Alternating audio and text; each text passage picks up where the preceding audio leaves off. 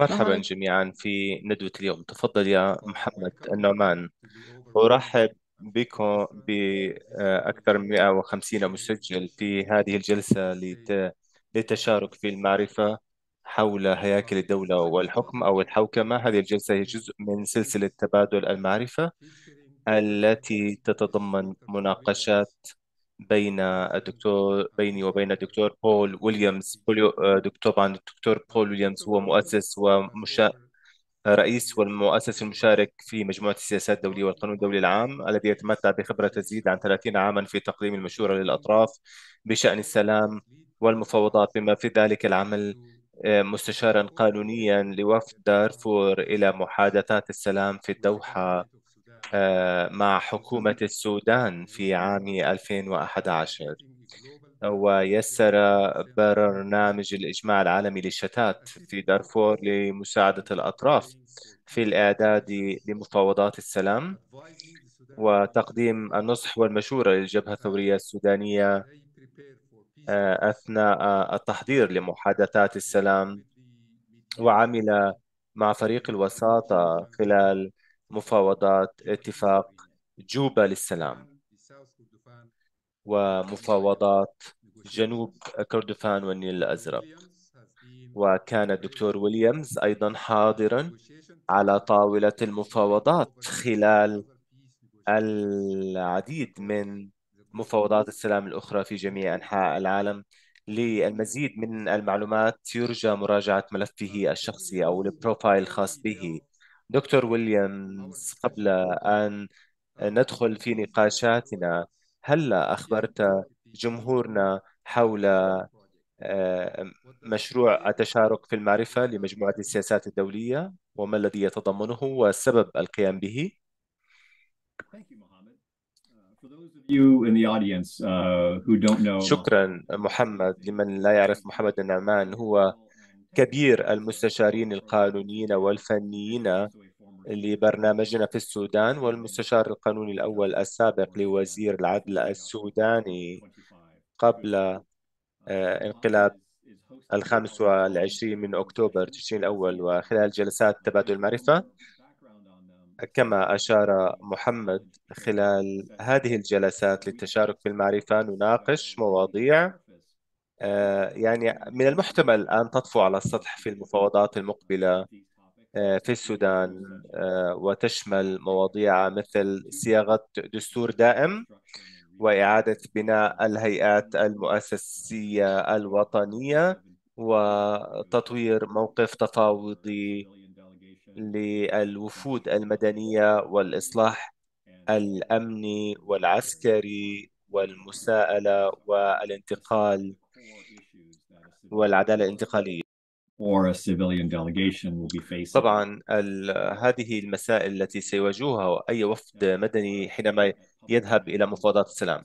نحن في PILPG نيسر بناء القدرات. هدفنا هو تيسير بناء القدرات للممثلين السياسيين المدنيين السو- السودانيين ومجموعات المجتمع المدني والشركاء الدوليين المنخرطين بنشاط في الجهود المبذولة لتعزيز بناء السلام في السودان بحيث يقوم ببناء سلام دائم وشامل. كان لدينا جلستين سابقتين لتبادل المعرفة. أحدهما ناقشت التعقيدات والاعتبارات الاستراتيجية التي ينطوي عليها إصلاح القطاع الأمني والعسكري كجزء من مفاوضات السلام والأخرى حول جرائم الفظائع في مفاوضات السلام وهي موجودة باللغتين العربية والإنجليزية. والروابط إلى هاتين الجلستين سيتم وضعهما في مربع دردشة. أعود إليك يا محمد. شكرا يا دكتور ويليامز. آه، ورشتنا هذا اليوم سيكون طولها 60 دقيقة باللغتين العربية والإنجليزية ونحن ممتنون للمترجمين عبد اللطيف وأيام للانضمام إلينا اليوم. آه، أرجو أن تختاروا اللغة المفضلة باستخدام أيقونة اللغة في أسفل الشاشة.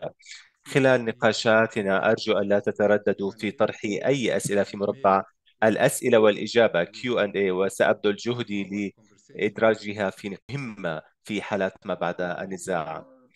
يا محمد هناك نوعان مميزان من ترتيبات التشارك والتقاسم في السلطة أحدها حول هيكل الحكومة والآخر أفقي وعمودي تشارك السلطة بشكل أفقي وعمودي. والسبب أهمية هذه الأشكال من تقاسم السلطة هو أن الدولة التي تدخل في النزاع ستكون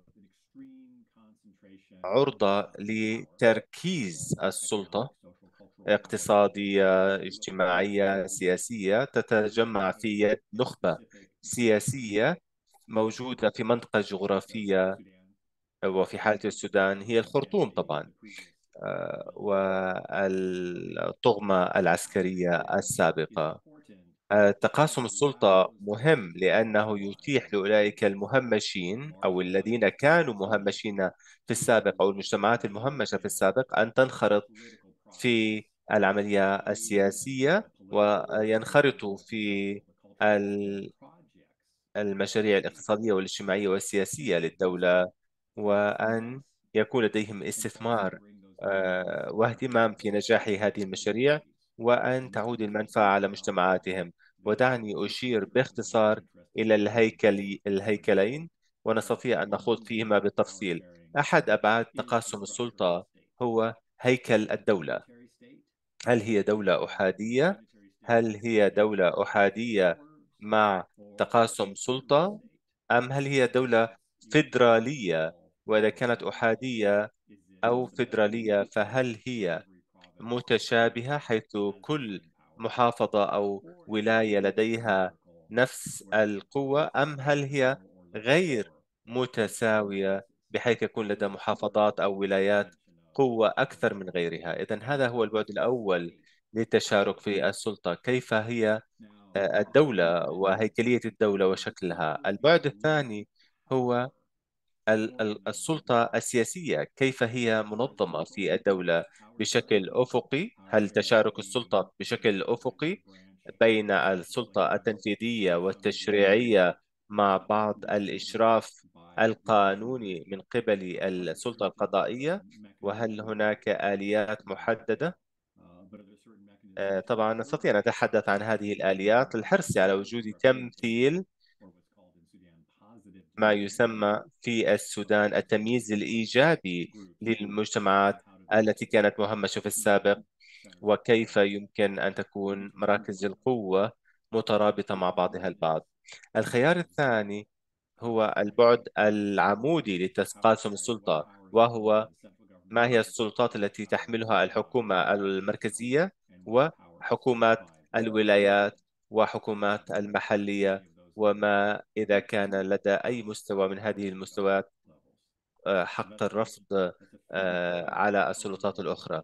إذا هذه النظرة السريعة لماذا التشارك في السلطة وتقاسم السلطة مهم وهياكل السلطة والتشارك في السلطة الأفقي والعمودي. شكرا يا بول. إذا استطعنا أن نخوض بمزيد من التفصيل حول هيكل الدولة كأحد الأبعاد ما هو هيكل الدولة. ما الذي نعنيه حينما نقول هيكل الدولة؟ الفكرة حول آه، أو خلف هيكل الدولة هي أن نفكر في كيف يتم تنظيم الدولة. العديد من الدول تنظم حول مبدأ الدولة الوحدوية أو مثل آه، فرنسا دولة وحدوية مصر دولة وحدوية آه، معظم الدول في الخليج هي دول وحدوية باستثناء الإمارات العربية المتحدة. وهنا تكون السلطة مركزية في هذه السلطات الوحدوية على المستوى الوطني. ومن ثم المستوى الوطني يقوم بتعيين آه، شركاء لتنفيذ السياسة الوطنية في جميع أرجاء البلاد.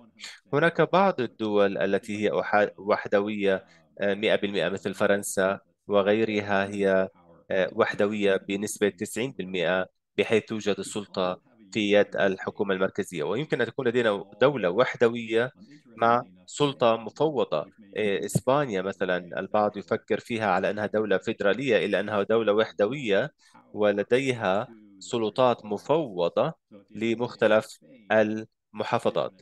إذا في إسبانيا السلطة المهيمنة هي الحكومة الوطنية الحكومة المركزية ولكن بطريقة غير متماثلة أي أن الدو... السلطة تم تفويضها لبعض المحافظات أو الولايات في إسبانيا. ومن ثم لدينا الدولة الاتحادية أثيوبيا هي دولة اتحادية فيدرالية كندا هي دولة فيدرالية أو اتحادية الولايات المتحدة وأستراليا ألمانيا هي دولة اتحادية. وهنا عناصر الحكم الرئيسية هي تكون آه، جمهورية أو في المحافظات والولايات ويجتمعوا معا ويعينوا ممثلين لهم في الحكومة الوطنية وليس العكس. إذا في الدول الاتحادية معظم القرارات تتم على المستوى الإقليمي أو المناطقي المحلي وهناك سلطة محدودة على المستوى الوطني. شكرا. لدينا أول سؤال طرح من الجمهور. هل يمكن أن تسوق لنا أمثلة على آه، ترتيبات آه، التقاسم السلطة في دول ما بعد النزاع؟ إذا حينما ننظر في التشارك في أو تقاسم السلطة يكون من الصعب أن ننفذ تقاسم للسلطة وترتيبات تقاسم السلطة بشكل ناجح. يجب أن أكون واضحا من البداية لا حل سحري. لا نقول أننا نستبدل الوحدوي بالاتحادي أو نفوض السلطة للمحافظات والولايات. هناك بعض الأمثلة الناجحة. نستطيع أن نتحدث عن التحديات أيضا إن لم تمانع. مقدونيا مثلا آه، هي دولة آه، أو مثال ناجح للتشارك في السلطة. وهنا في هذا الموقف كان هناك 60 إلى 70% حسب من تسأل من الجمهور سلوفاك و30 إلى 40% من الأرمن. وهم قاموا بترتيبات تشارك السلطة حيث السلطة هناك سلطة مركزية وسلطة محلية أو بلدية. وقفزوا عن المنطقة التي في الوسط. وهذا فوض الكثير من الصلاحيات للبلديات لأن الجمهور السلوفاك والألبان آه، موجودين في مناطق جغرافية متجانسة. وقاموا بإنشاء تشارك في السلطة مركزي حيث يأتي الرئيس من جنسية أو هوية دعنا نقول آه، ونائب الرئيس يكون من هوية أخرى. كلاهما السلوفاك والألبانية هي اللغات الرسمية لمقدونيا وهناك حق للأقليات للألبان لممارسة حق النقد الفيتو على فئة ضيقة من التشريعات. التشريعات ذات الصلة بالثقافة وذات الصلة باللغة وحقوق الإنسان. يجب أن تحصل على ثلثي أصوات غالبية الأقليات ليتم إقرار تلك القرارات. وكان هذا النموذج ناجح في آه، هذا البلد. طبعا في البوسنة أيضا آه، البوسنة والهرسك. آه، هذا حافظ على السلام في البوسنة ولكن طبعا هو كان مقيد للوضع الاقتصادي والديمقراطي المستقبلي في البوسنة والهرسك. هذا مثال سريع. ما هي التحديات الشائعة التي نواجهها حينما ننفذ آه، ترتيبات التشارك في السلطة أو تقاسم السلطة؟ هناك ثلاث تحد ثلاثة تحديات في ترتيبات التقاسم بالسلطة. أولها هو الإسراع في الأمور ورأينا هذا يحدث في اليمن حيث كانت دولة وحدوية ومن ثم قرروا أن اليمن سيكون دولة فيدرالية أو اتحادية ولكن لم توجد عملية لعملية إطلاق تدريجية للفيدرالية. قالوا نحن دولة وحدوية اليوم وسوف نوقع الاتفاق وغدا ستصبح لدينا دولة فيدرالية. طبعا نستطيع أن نخوض في هذا بمزيد من التفصيل ولكن لم يكن لديهم القدرات المالية ولا البشرية ولا حتى البنية التحتية ولا المباني ليكون لديهم دولة فيدرالية في محافظات اليمن. إذا يجب أن نتوخى الحذر حينما ننتقل من دولة وحدوية إلى دولة فيدرالية. يستغرق الأمر قدرا كبيرا من الوقت لكي نحسن صنعا في ذلك. التحدي الثاني هو أن هناك سوء فهم أو سوء تصور بأن النظام الفيدرالي هو حل المشكلات. ينظر الناس إلى كندا، ألمانيا، سويسرا و حتى مؤخرا أثيوبيا.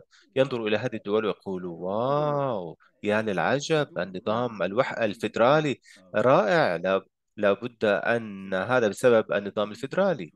إذا هذه الدول التي كان فيها محافظات أو ولايات اجتمعت معا وشكلت الدولة الاتحادية.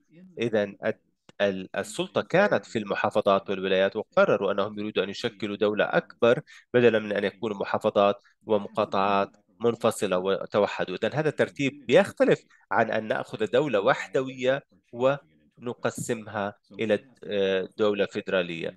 إذا يجب أن نتوخى الحذر حينما نحاكي الحكومة السويسرية الكندية والألمانية والأمريكية. استغرقهم عقود إن لم يكن آه، يعني آه، قرون ليطبقوا النظام الفيدرالي أو الاتحادي. والتحدي الثالث هو إذا انخرطت في تقاسم السلطة بشكل أفقي أو عمودي بشكل زائد عن اللزوم آه، قد نغلق المساحة السياسية ونغلق التنمية الاقتصادية. فإذا فوضنا سلطة زائدة عن حدها للبلديات والمحافظات والولايات فلن يكون لدينا حكومة وطنية فاعلة وسيكون هذا مسبب إضافي للنزاع في المستقبل. أو إذا أنشأنا العديد من الموازين والضوابط على المستوى الوطني بحيث لا يمكن أن نتبنى تشريعات فهذا سيكون أحد أسباب النزاع. على سبيل المثال ذكرنا في مقدونيا كان هناك ثلاث أو أربع مجالات يمكن للأقليات أن يمارسوا حق النقد. الفيتو في البوسنة ما من حد إذا أثر ذلك على مصالح أحد الثلاث المجموعات أو الفئات الرئيسية في البوسنة. فتلك المجموعة أو الفئة يمكن أن تمارس حق الفيتو ونحتاج إلى أغلبية عظمى بالإضافة إلى غالبية تلك المجموعة لتبني التشريع. وبالتالي آه، يستغلوا دائما حق النقد الفيتو آه، كطريقة لتعطيل التنمية الاقتصادية والسياسية والثقافية في البوسنة. إذا يجب أن يكون هناك توازن. ونستطيع أن نتحدث عن اتفاق جوبا. اتفاق جوبا للسلام هو اتفاق آه، مهم ولكن لربما فوض الكثير من الصلاحيات أكثر من اللازم للمناطق والأقاليم. شكرا يا بول. ذكرت ثلاثة أبعاد مختلفة فيما يتعلق في آه، آه، تشارك في السلطة. تحدثت عن هياكل السلطة أيضا. دعنا نتحدث إلى الجمهور عن التشارك أو تقاسم السلطة الأفقي والرأسي أو العمودي. كيف يختلف الأفقي والعمودي أو الرأسي؟ وما هي الأدوار التي يلعبها في الحكم أو الحوكمة؟ الفرق بين تقاسم السلطة أفقيا وعموديا أو رأسيا هو المقاربة التي نتبعها لأن نحرص على الشمول أو حماية مصالح محددة. التقاسم السلطة العمودي هو الذي نحمي فيه مصالح السكان المهمشين بأخذ السلطة من المركز ونقلها إلى المناطق والأقاليم والمستويات المحلية. ويمكن أن تكون سلطة سياسية وسلطة اقتصادية وسلطة إدارية. وإذا أحببت نستطيع أن نتحدث كيف يمكن للسلطات الثلاثة تختلف عن بعض البعض وكيف يمكن أن نعقد توازن بينها. ولكن يجب أن نتفق مع السلطات المحلية والبلدية بحيث يستطيعوا أن يمارسوا السلطة في كل في منطقته المحلية. الآن التقاسم الأفقي للسلطة هي حينما يكون الأفراد في البلديات وممثلي المجتمعات المحلية والمجتمعات الإقليمية يذهبوا إلى المركز مركز الحكومة ويتشاركوا في آه، السلطة على المستوى الوطني. إذا نأخذ قدر معين من السلطة إلى الأقاليم والبلديات والسلطة التي تبقى على المستوى الوطني يتم ممارستها ومزاولتها بطريقة بين من يمثلون هذه الأقاليم والبلديات والمناطق المحلية. من خلال الحرص على أن هناك آه، مجلسي برلمان المجلس المنتخب وطنيا ومجلس آخر منتخب إقليميا للبرلمان. فتكون الهوية مربوطة بالهوية التي انتخبتك في مجلس وفي المجلس الآخر من البرلمان. تكون الهوية مربوطة في الدولة بأكملها وما تريد أن تفعله هو أن تعقد توازن بحيث تحافظ على وحدة الدولة وفي الوقت نفسه تسمح بالكثير من الآراء وأصحاب المصلحة والجمهور الممثل يتم تمثيلهم إذا دائما تكون هناك تقاسم للسلطة أفقيا وعموديا أو رأسيا. هذا بالنسبة لتقاسم السلطة. هل هناك شروط هل هو شرط مسبق للديمقراطية كشكل من الحكم حيث الدول وال أو الولايات والحكومات تنتخب شخص على المستوى المركز هل مستوى التعلم على المستوى الإقليمي وعلى مستوى الدولة يؤثر على كفاءة الدولة الفيدرالية أو الاتحادية؟ طبعا كلا الأمرين يتطلبان قدرا من الديمقراطية. الفكرة هي أن الأقاليم والبلديات سوف ترسل مندوبيها إلى المستوى الوطني. والسلطة التي يتم تفويضها إلى المستوى الإقليمي والمستوى المحلي. وتريد أن تفوضها إلى مندوبين منتخبين. ليس بالضرورة كل دولة تختار نظامها ولكن نفترض أن النظام الديمقراطي إذا أردت أن تحرص على أن السكان المهمشين مشمولين في حكم الدولة فإن الديمقراطية هي الطريقة الفضلى للحرص على شمولهم. فلا يمكن التقاسم في السلطة أو تفويض الصلاحيات لمناطق ثم نرسل أفراد إلى الحكومة إذا لم يكونوا ممثلين للشعب من أبناء تلك المناطق والمحليات. إذا الديمقراطية أساسية. طبعا من طرح السؤال سأل هل هناك شروط مسبقة وهذا مهم. يجب أن نفكر فيه لأن ما الذي يأتي أولا؟ إذا انتقلنا إلى هياكل دولة مفصلة وترتيبات تقاسم السلطة للسودان قبل أن نذهب إلى تطوير الأحزاب السياسية وقبل أن يكون لدينا آلية انتخابية أو قبل أن نؤسس الانتخابات الحرة والنزيهة فعندئذ قد لا نحقق الحكومة الشاملة والشمولية التي نصبو إليها. ولكن لو انتظرنا وقلنا علينا أن نبني كل هذه الهياكل الديمقراطية قبل أن نتشارك في السلطة فعندئذ قد يكون لدينا جمهور أو جمهورين يمارسان السلطة في السودان. إذا الأمران يجب أن يسيرا يدا بيد والأمر صعبا. نحتاج إلى التزام بالديمقراطية. وأنا أقترح أنكم تحتاجوا إلى انتخابات متكررة في فترة مبكرة من أجل أن نحرص على أن يكون لدينا هياكل حكم ديمقراطية ورأينا هذا في جنوب السودان حيث كان لديهم دستور مؤقت والآن في السنة العاشرة من ذلك الدستور المؤقت ولم تعقد انتخابات. نأمل أن تعقد الانتخابات في السنة القادمة بحيث نكون حققنا الشمول والتمثيل في جنوب السودان لأننا يعني مضينا قدما في العملية الانتخابية ومؤسسة الديمقراطية.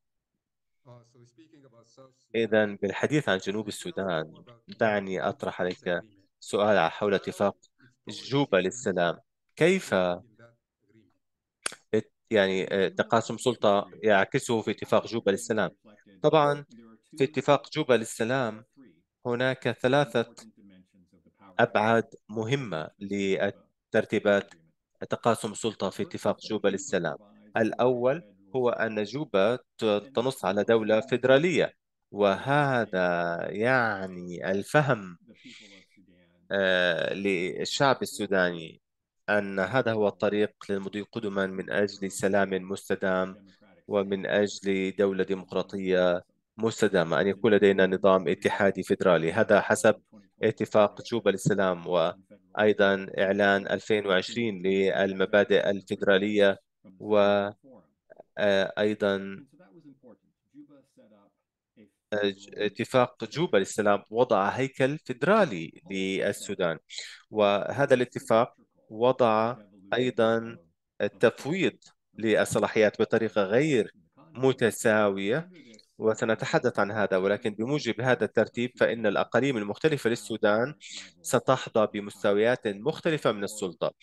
آه، دارفور مثلا لديها آه، جزء من السلطة جنوب كردفان والنيل سيكون لديهم سلطة مختلفة شمال شرق آه، سيكون لديهم ترتيبات آه، سلطة مختلفة. طبعا هذا تم على أساس أن مناطق مختلفة لديها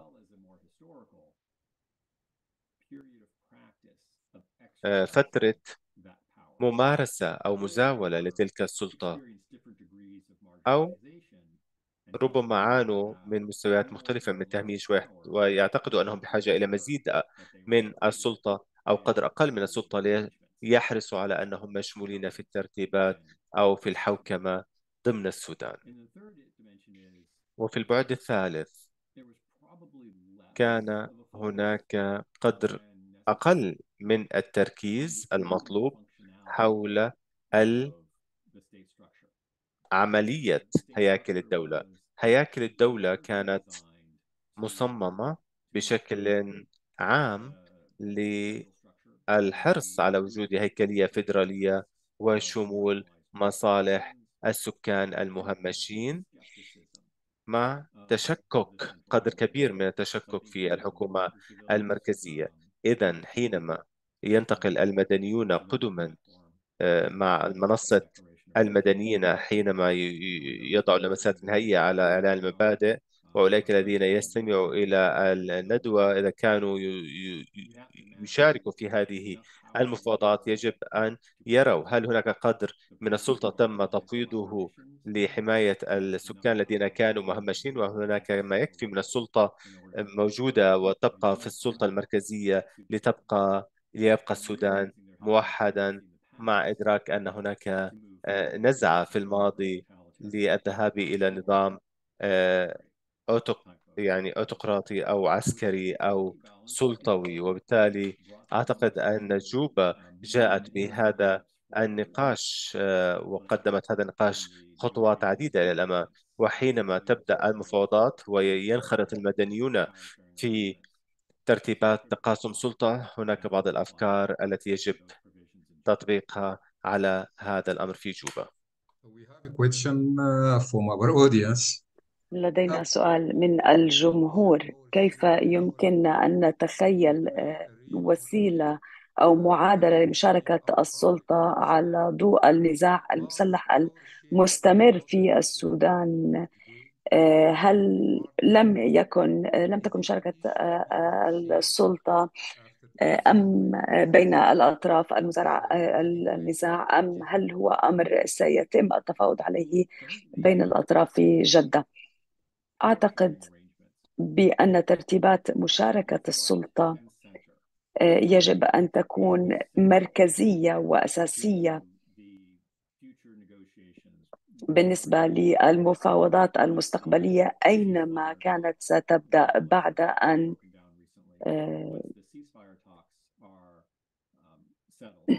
بعد أن تتم تسوية مباحثات الهدنة. نعرف أنها توقفت الآن.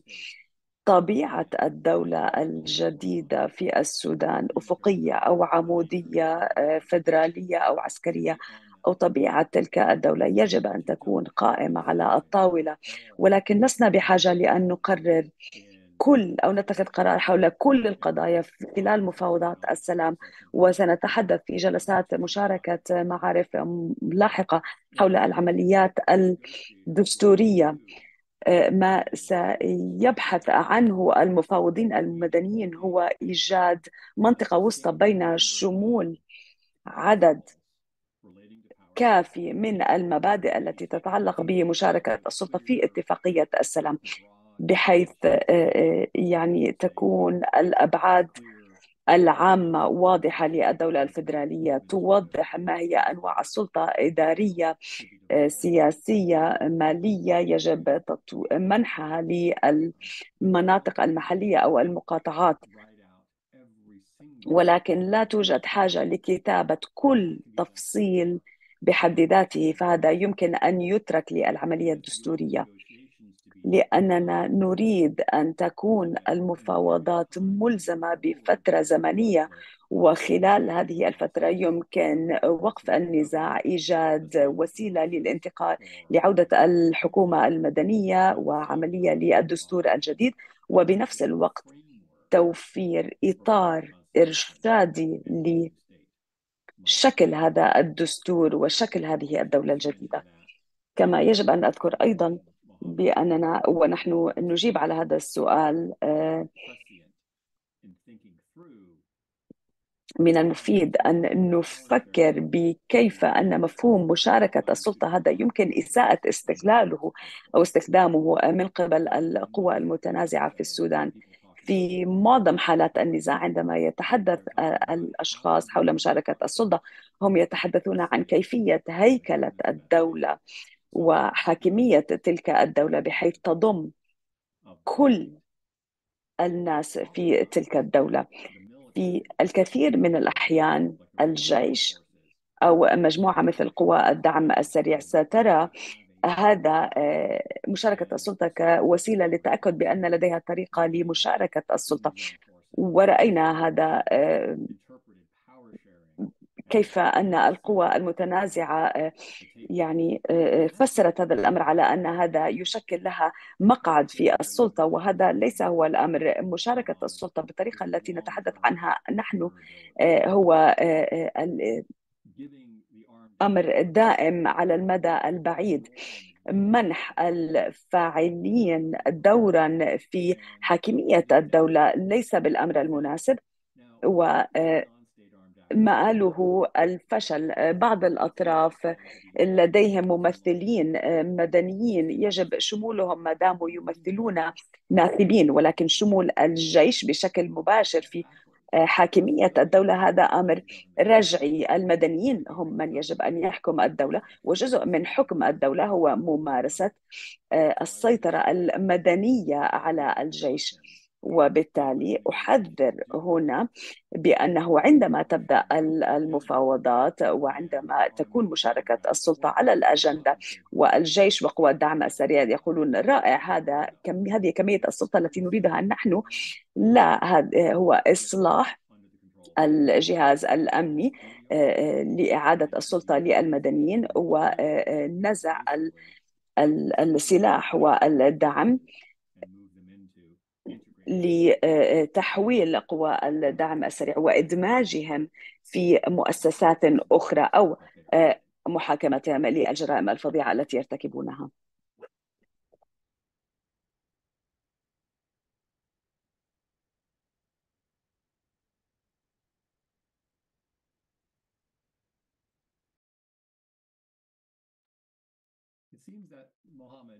يبدو أن محمد آه، ربما توقف لديه الإنترنت مؤقتا ولذلك سأتدخل آه، بسؤال مشابه للموضوع الذي نبحث فيه وهو يتعلق بالديمقراطية ومشاركة السلطة. وسأبحث في السؤال الخاص بالجدول الزمني لتنفيذ هذه الآليات. وما نجده في الكثير من الأحيان هو مع أنه قد يكون هناك سرعة كبيرة لتنفيذ هذه الآليات من المهم تحديد القدرات وأعني القدرات بعدد من الوسائل واحدة منها هي القدرة المالية فهي مشاركة السلطة الفيدرالية. هذه أمور مكلفة وسنحتاج لأن نتأكد بأنه أثناء إعادة بناء الدولة ودفع التعويضات وتأسيس هيئة مساءلة يجب أيضا تمويل البرلمانات المحلية والخدمة المدنية. المحلية لتنفيذ مشاركة السلطة هذه. البعد الآخر هو أنه في الكثير من الأحيان نحتاج لأن نتأكد من مستوى القدرة البشرية في أي سياق يصبح الأشخاص لاجئين ونازحين داخليا و من كانت مجموعة محدودة من المدنيين الذين شاركوا في ونفذوا في حاكمية الدولة سيكون صغيرا وغير كافي ربما لتغطية كامل الدولة ولكن الآن نوجد إدارات محلية وأقليمية وبالتالي سنحتاج إلى زيادة أو مضاعفة عدد الموظفين المحليين الموظفين في الدولة الدولة وبالتالي القدرة البشرية رأس المال البشري يستغرق وقتا للتدريب وإدخاله ليلعب دورا. أهلا بك يا محمد. مرة أخرى كيلا أيضا انضمت لنا للمساعدة في التيسير أجبنا على سؤال توقيت تنفيذ آليات مشاركة السلطة والتحديات المالية وتحديات الموارد البشرية فيما يتعلق بتنفيذ آليات مشاركة السلطة. عودة لك يا محمد.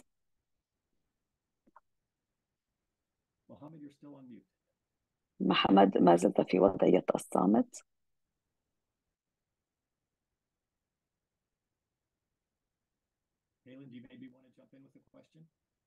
كيتلين هل تريدين التدخل ربما بالسؤال مرحبا يا بول. نعم سأدخل. عدت. آسف كنت أواجه بعض المشاكل الفنية المرتبطة باتصالي بالإنترنت. أتسمعونني الآن؟ نعم نسمعك يا محمد. لا بأس.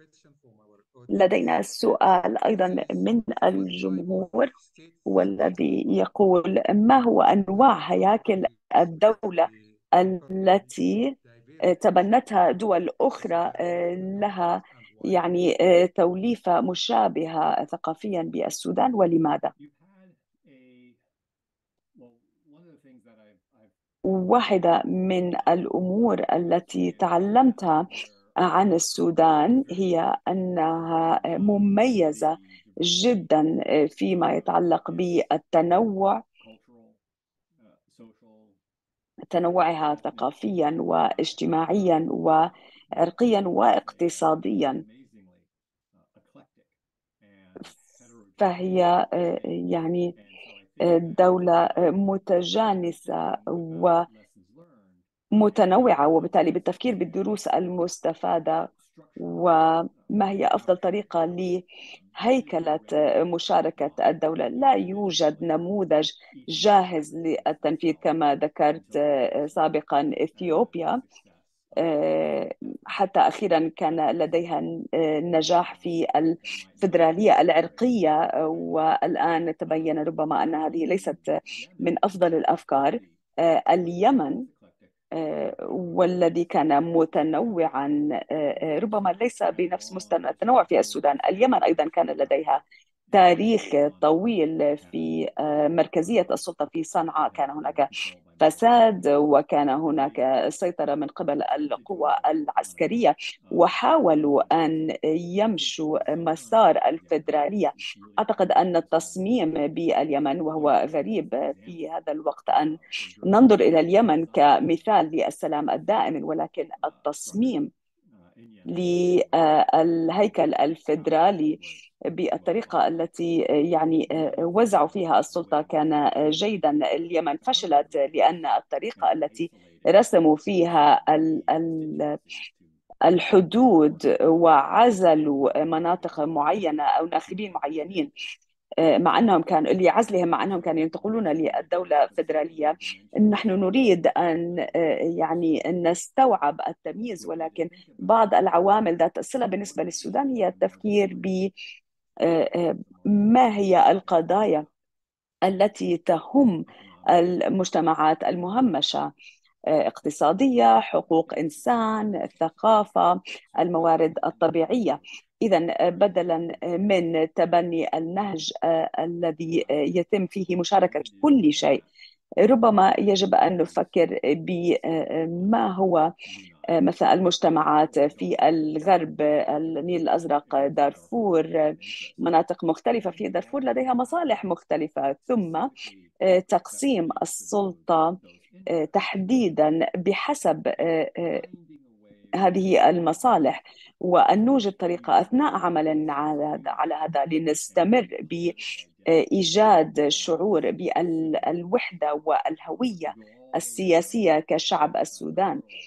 لأن الناس مثلا في منطقة أخرى في العالم إندونيسيا شاركت السلطة يعني وخصصتها أو وزعتها على بعض المناطق المحلية بطريقة حافظت على الهوية الإندونيسية وأيضا لديهم يعني توزيع لاتشي خاص. ولكن فيما تبقى هو موازي. يعني هناك بعض الأمثلة حول العالم ولكن كل آلية لمشاركة السلطة السلطة يعني مميزة حسب المصالح المميزة لكل دولة. وفي هذه الحالة السودان مميزة جدا وفيها عدد من المصالح المهمة للغاية للسكان المهمشين.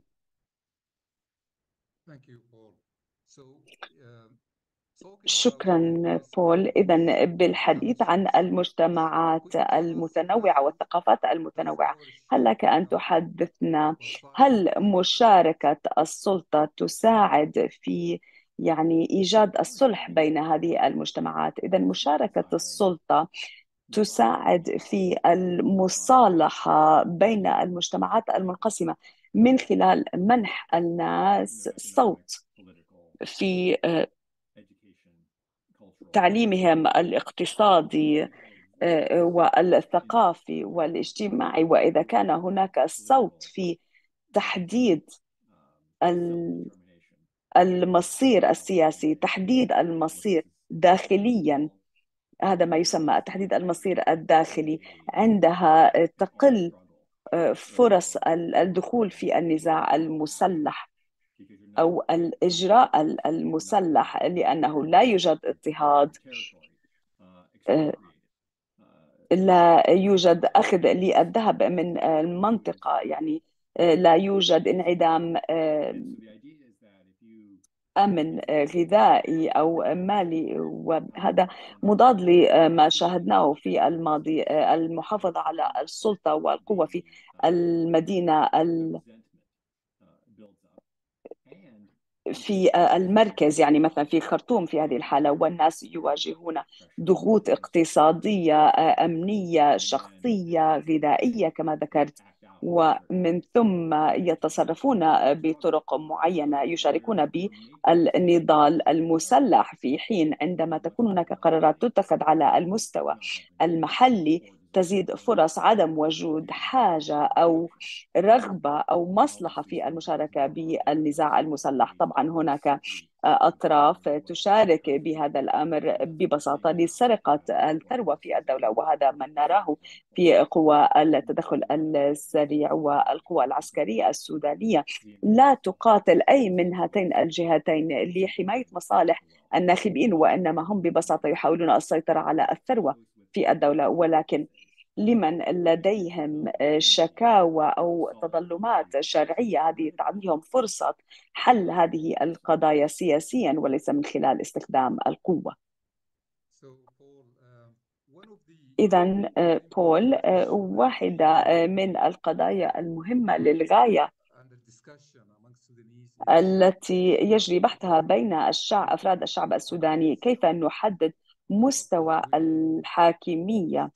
أو الحكم بين الولايات المناطق والهياكل غير المنظمة. كيف يمكن تسوية هذا الأمر خلال مباحثات السلام؟ إذا واحدة من المهام لمن يعملون في مفاوضات السلام أو المفاوضات الدستورية أو التفكير بمستقبل هياكل الدولة هي اتخاذ قرار حول ما هي المناطق المناسبة ما هي الحدود الجغرافية للمناطق والمناطق الفرعية أيضا. ورأينا هذا على سبيل المثال في دارفور. كان هناك منطقة دارفور الكبيرة ثم المناطق الثلاثة المنقسمة. ثم يمكننا أن ننزل إلى مستوى أدنى أيضا إلى مستوى الهياكل. الحكومة المحلية الحدود يبدو أنها محددة بشكل جيد. أنا ربما أحذر ضد إعادة رسم أي حدود إقليمية أو في الولاية.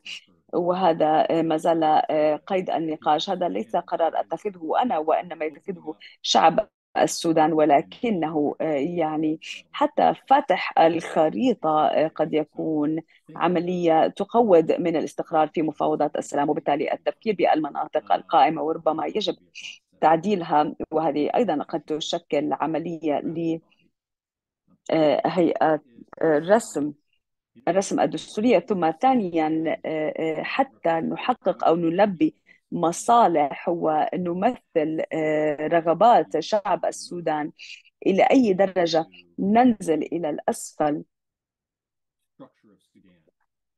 حتى إلى فيما يتعلق بهيكل السودان لتقسيم السلطة في مقدونيا كان على المستوى البلدي. قرروا أنه على المستوى البلدي هذا هو أفضل مكان لنعالج القضايا التي كان يقلق حيالها أشخاص في مقدونيا. التعليم اللغة والثقافة والشرطة المحلية. في مواطن أخرى لو نظرنا إلى العراق التي فيها تحدياتها كان على المستوى الإقليمي منطقة كردستان ثم المناطق المحيطة مع تقسيم قوى أو سلطات محدودة جدا للبلديات ولكن المقاطعات والأكراد لديهم مناطق خاصة بهم. إذا نفكر بأفضل هيكل يحل قضية عدم التمثيل وقضية حتى اليوم نقص التفاعل السياسي والمشاركة السياسية. أيضا يجب معالجة أو التعامل مع قضية تحديد المصير. لا نريد عن دون قصد تصميم هيكل ييسر التفكك تفكيك السودان. وبالتالي كما أشير في الإعلان المدني للمبادئ الوحدة والسيادة والنزاهة المناطقية للسودان أمر أساسي وهذا كان في اتفاقية جوبا للسلام وفي إعلانات سابقة للمبادئ. وبالتالي لا نريد عن دون قصد أن نصمم هيكل يسهل على الدولة تنقسم.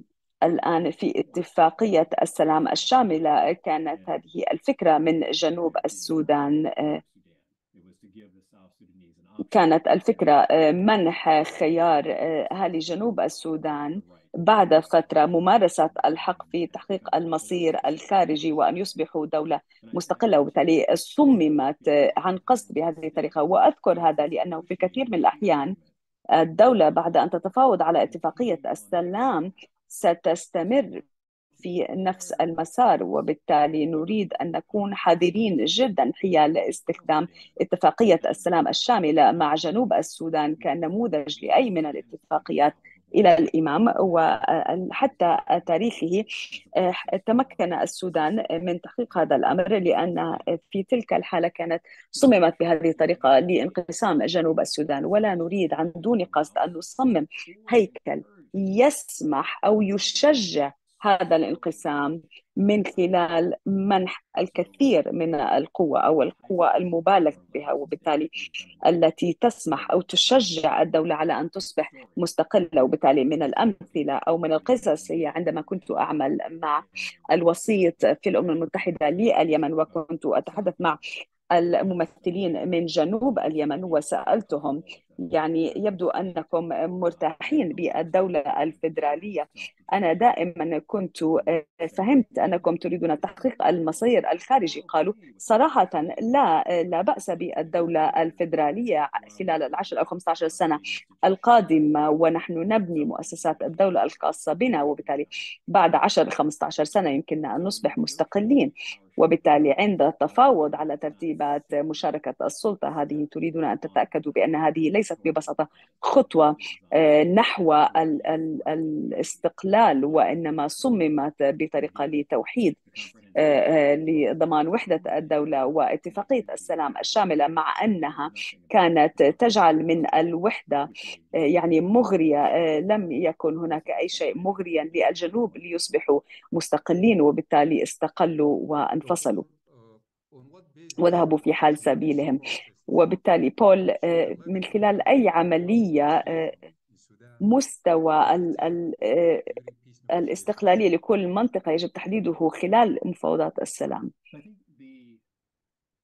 أعتقد بأن مستوى السلطات والقوى التي يتم توزيعها أو تقسيمها على المؤسسات المختلفة يجب أن يكون مبنيا على الاحتياجات الخاصة لكل من هذه الجهات. مثلا النيل الشرق يعني ما هي احتياجاتهم بشكل خاص؟ ما هو الكافي بالنسبة لهم حتى يتفاعلوا في الحكم الذاتي؟ حتى يسمع صوتهم. وأيضا من المهم وأستخدم هذا السؤال لأذكر شيء كثيرا ما يهدد مشاركة السلطة بطريقة فعالة وهي عدم قدرة المناطق والبلديات على يعني جمع مواردها الخاصة بها. إذا في بعض الحالات سيقسمون السلطة السياسية. يعني يمكنكم اتخاذ هذه القدرة القرارات ولكنهم لم يوزعوا أو يقسموا السلطات المالية وبالتالي يمكن للمنطقة أن تتخذ قرارات يمكنها أن تحدد النقل المحلي التعليم كل هذه الأمور ولكنها لا تملك المال لتنفيذ هذه الأمور لأن السلطة المركزية هي التي تملك المال. أو سيقسمون السياسي ولكن لا يقسموا الإداري لا يوجد خدمة مدنية محلية أو لا يوجد تمويل للخدمة المدنية المحلية. وبالتالي المقاطعة لن تتمكن من المشاركة في مثلا المحافظة على السلام إقليميا إذا لم تملك المال لتعيين أفراد الشرطة وبالتالي ستكون هناك فجوة. في القوى الأمنية لأن القوى السلطة السلطة السياسية تم توزيعها ولكن لم يتم تقسيم السلطات الإدارية أو المالية. وبالتالي عند التفكير بتصميم الهيكل الأمر لا يتعلق بهذه قوة مثلا العشرين سلطة التي نريد تقسيمها في منطقتنا يجب أن نفكر بحذر حول ما إذا كنا نستطيع أن نتخذ قرارات سياسية في هذه القوى ومالية وأيضا القدرة على جمع المال لتلك المنطقة والسلطة الإدارية لتنفيذ هذه القرارات السياسية المتخذة. لدينا سؤال من خاصية الأسئلة والأجوبة على الضوء. الاتجاه للامركزية في السودان قبل صرف النظر عن السودان بسبب أوكرانيا وغزة.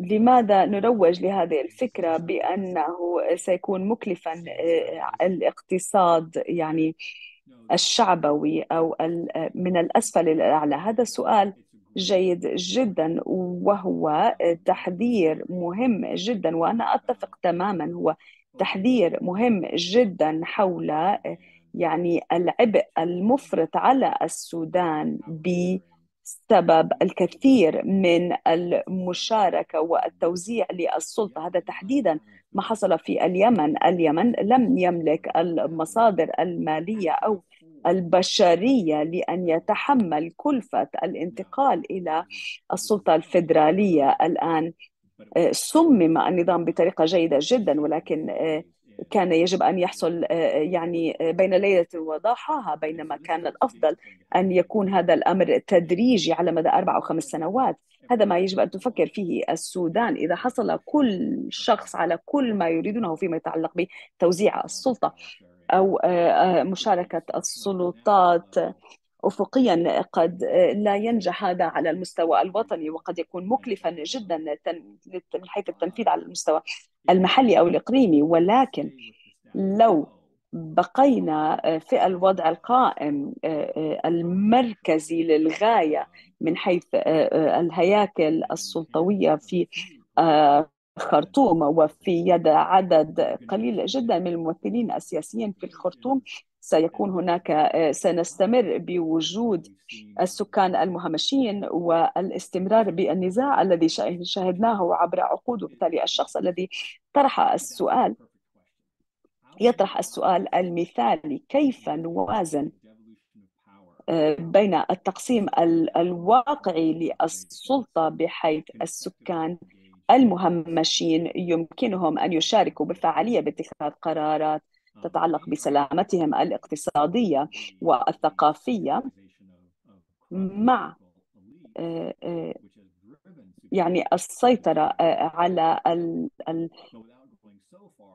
النخب الفاسدة دون أن يعني نتسبب بانهيار الحكومة الجديدة وإعادتها إلى النزاع الدائم. هذا ليس بالأمر السهل وستكون هناك حاجة إلى درجة من الدعم الدولي أوكرانيا غزة اليمن سوريا أماكن أخرى يعني سحبت كل الاهتمام. وبالتالي هذه ملاحظتي يا محمد البدأ بدأ الوقت ينفذ منا هذا هو الوقت للمناصرة. الدرجة التي يتمكن منها الوفد المدني من عرض خطة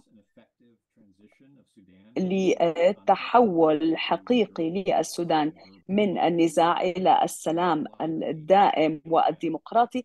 كلما زادت فرص هذا ليس بالأمر المضمون ولكن على الأرجح سيكون هناك تفاعل دولي وتمويل دولي. وأنا أعتقد بأن هناك بالتأكيد القدرة التمثيلية بين الفاعلين المدنيين الأمر يتعلق بعملية تنظيم المدنيين المدنيين الذين ينظمون أنفسهم آه، بحيث يقدمون مقترحات واقعية. وهذا ما أقدره فيما يتعلق بالأسئلة التي وردت إلينا خلال الساعة التي ركزت على كيف نتمكن أو نقترح بشكل واقعي نظام لمشاركة السلطات وهيكل للدولة ينجح بالنسبة للسودان ولكنه ليس بالوضع المثالي لدرجة أنه يعني آه، شكله رائع على الورق فقط. سأتوقف بكلمة تحذير ثم نبدأ بالختام. لو نظرنا إلى اتفاقية السلام للصومال هي اتفاقية سلام رائعة وعندما ننظر إلى ما حصل للصومال على مدى 30 سنة الماضية ندرك بأن هناك فصل يعني آه، آه، آه، كبير بين ما تم التفاوض عليه والواقع الحال في الصومال كما كان في ذلك الوقت ولم يعني تلبي اتفاقية السلام هذا الواقع. وبالتالي عندما آه، آه، يكون هناك دخول في المفاوضات هناك جمع للواقع على الأرض آه، وما هو مقترح على الأرض. هذا ليس تمرين أكاديمي أو نظري. المدنيين الذين يدخلون في مفاوضات السلام سيعملون على صياغة مبادئ وقواعد مهمة في الواقع وستمكن شعب السودان من المشاركة بشكل كامل في الحاكمية الديمقراطية للدولة. دكتور ويليامز sharing your هذا ما كل كل ما سمح به الوقت اليوم. شكرا دكتور ويليامز على التشارك بخبراتك وكل أولئك الذين شاركوا بنقاشاتنا. أرجو أن تشاركونا جلسة التشارك في المعرفة القادمة حيث س نناقش صياغة الدستور الدائم سنتشارك معكم بمزيد من المعلومات في الأيام القليلة القادمة إن شاء الله. شكرا للانضمام إلينا ونرجو أن تنضموا إلينا الأسبوع القادم وأتمنى لكم أسبوعا طيبا. شكرا.